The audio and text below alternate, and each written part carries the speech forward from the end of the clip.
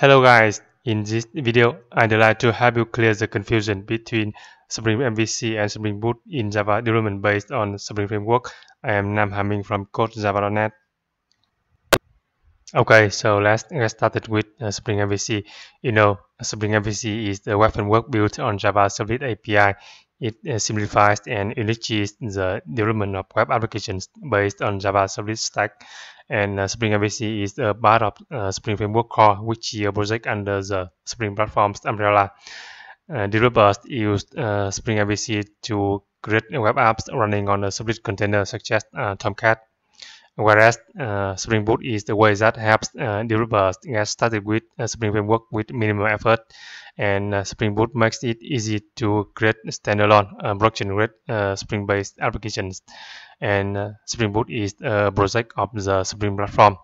And uh, developers use uh, Spring Boot to save time and increase productivity in developing Spring-based projects running as standalone programs. And the main features of uh, Spring MVC are dispatcher servlet, which is a front controller, MVC design pattern, handler mappings, annotated controllers, form handling, and form validation, view resolution and resolvers for exception locale theme.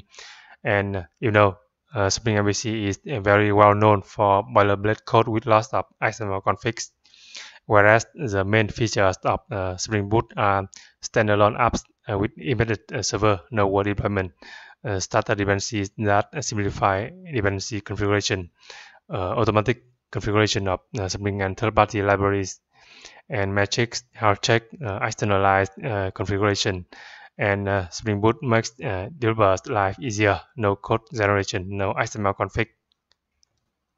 And let's uh, look at the architecture of a typical Spring MVC application so you know a Spring MVC application uh, is running on a Servlet container such as Apache Tomcat the Servlet container provides Java Servlet API and Spring MVC is built on a Spring Framework's core and Java Servlet API. And the application's code could be built on uh, uh, Spring Framework's core, uh, Spring MVC, and Java Servlet API. And let's take a look at the architecture of a typical Spring Boot application. You know, a Spring Boot application is a standalone Java program with uh, embedded server, which is a servlet container that provides Java Servlet API and uh, Spring MVC is built on uh, Spring Framework's core and Java Servlet API.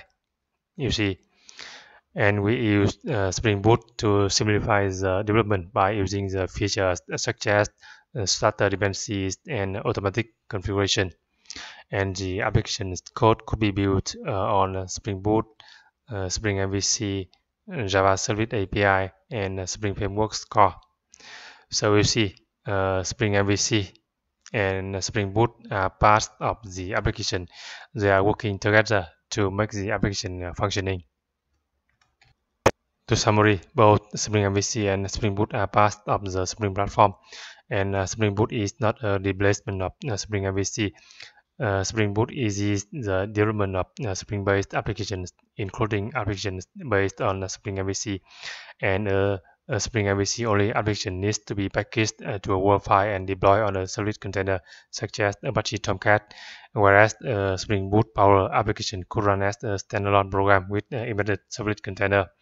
And ultimately, uh, developers prefer using uh, Spring Boot to develop uh, Spring MVC based applications. Okay, so I hope you are now very clear about the differences between Spring MVC and Spring Boot. If you like this video, please subscribe to my channel, like, comment, and share. Thanks for watching.